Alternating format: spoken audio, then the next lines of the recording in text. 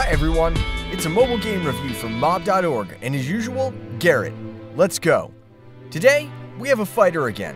I don't love him very much, frankly speaking, but today's patient has, if we may say so, some historical value, because among fighting genre fans, it's considered to be one of the best fighting games in the world.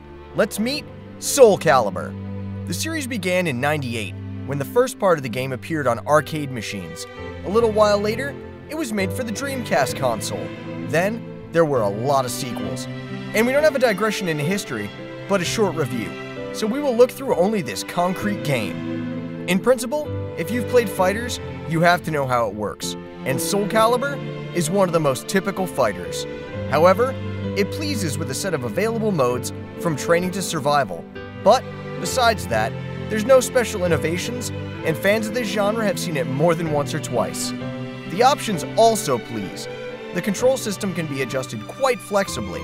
It's possible to change the type of controls, or to make an arrangement of the screen buttons for yourself. Well, what can I possibly say about the fight? First of all, these screen buttons are rather lousily drawn. Probably the authors tried to represent the buttons of the arcade machines. Or, more probably, they wanted to make them brighter so that they didn't merge with the background. In both cases, it wasn't necessary to draw the interface in shitty paint. I mean, really, look at these buttons.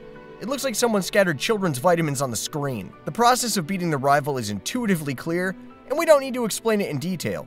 Joystick is on the left, three buttons to hit and a block button on the right. Also, if you hold the hit button for some time, the damage will increase. And naturally, there's various combos, pluses and minuses. For shortcomings of the game, I can note a lack of multiplayer. It isn't present at all, neither via Bluetooth nor on the internet, not in any way.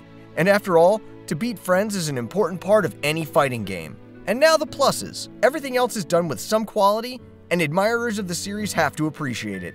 Familiar picturesque characters, good animation, everything else is here. That's all for today. If you liked it, follow our channel. There's still lots of great games around. This was Garrett and reviews from mob.org. See you soon.